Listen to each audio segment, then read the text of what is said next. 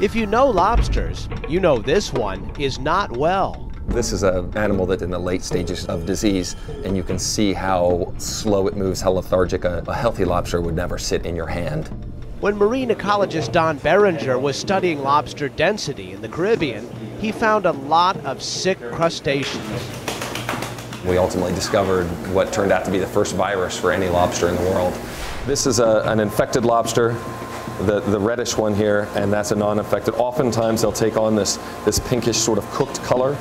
Infected animals stop molting, stop eating, and die.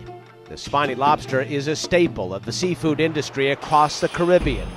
With help from the National Science Foundation, Behringer is trying to determine how this lethal PAV1 virus spreads. We know that it can spread via um, contact, and in the smallest juveniles can be transmitted just through the water column. The virus, which apparently does not harm humans, may be spreading another way. Lobsters spend six to eight months as larvae, often floating hundreds of miles in the open ocean. It's that larval stage that connects all these places in the Caribbean, literally taking it from the adults and taking it right into the juveniles, which are the most susceptible population.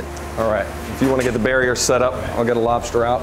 Lab tests reveal another curiosity lobsters may have disease detectors that keep some of them from getting sick. They can smell one another, they can smell food, and they can, we think they probably can smell disease as well. And they can do so before that diseased lobster becomes infectious to them.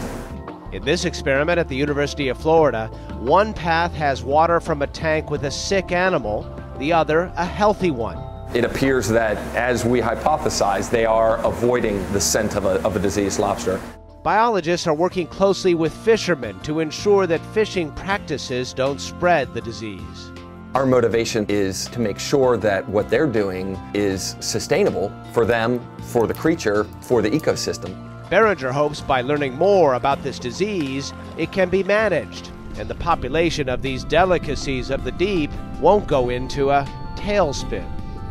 For Science Nation, I'm Miles O'Brien.